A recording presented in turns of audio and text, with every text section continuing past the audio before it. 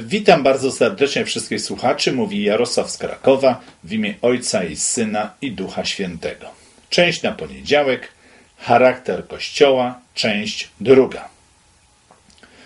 Poza samym słowem eklezja, Nowy Testament stosuje wobec Kościoła kilka obrazowych określeń, które pełniej wyjaśniają jego charakter i funkcję.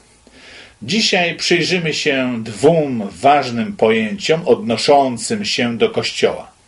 Jedno z nich ukazuje Kościół jako lud Boży, a drugie jako ciało Chrystusowe. Pojęcie ludu Bożego jest w Biblii stosowane w odniesieniu do Izraelitów. Przeczytamy 5 Mojżeszowa 14:2.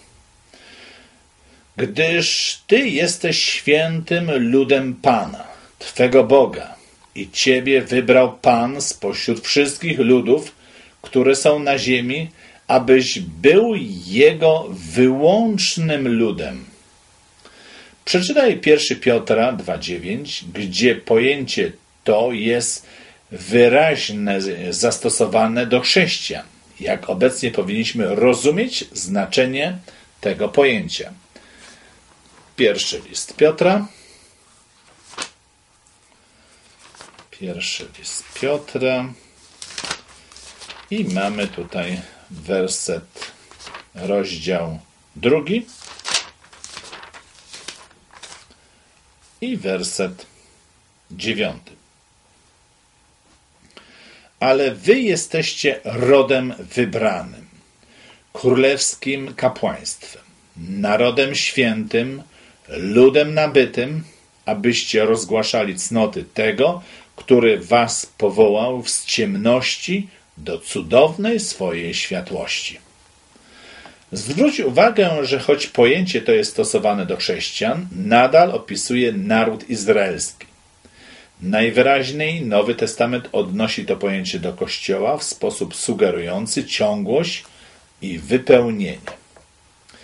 Wyrażenie ciało Chrystusa w liście do Rzymian, Koryntian i Efezjan również oznacza Kościół.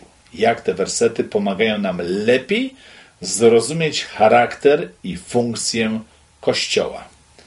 List do Rzymian 12:5.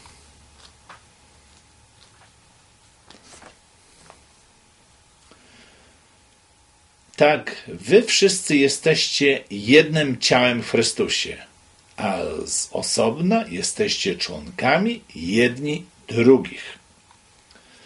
Pierwszy Korynt, dwunasty rozdział i dwudziesty siódmy werset. Wy zaś jesteście ciałem Chrystusowym, a z osobna członkami. List do Efezjan, pierwszy rozdział i wersety 22, 23. I wszystko poddał pod nogi Jego, a Jego samego ustanowił ponad wszystkim głową Kościoła, który jest ciałem Jego, pełnią tego, który sam wszystko we wszystkim wypełnia. W tych fragmentach Słowa Bożego można dostrzec wiele cech, z których chyba najbardziej oczywista jest jedność, jaką powinna panować w Kościele. Jest to cecha wyrażona w wielu miejscach w Nowym Testamencie, w tym szczególnie w liście do Koryntian, pierwszy list do Koryntian, dwunasty rozdział, 12 rozdział, od 12 do 17. Albowiem jak ciało jest jedno, a członków ma wiele, ale wszystkie członki ciała, choćby ich jest wiele, tworzą jedno ciało, tak i Chrystus. Bo też w jednym duchu wszyscy zostaliśmy ochrzczeni w jedno ciało, czy to Żydzi, czy Grecy, czy to niewolnicy, czy wolni, wszyscy zostaliśmy napojeni jednym duchem.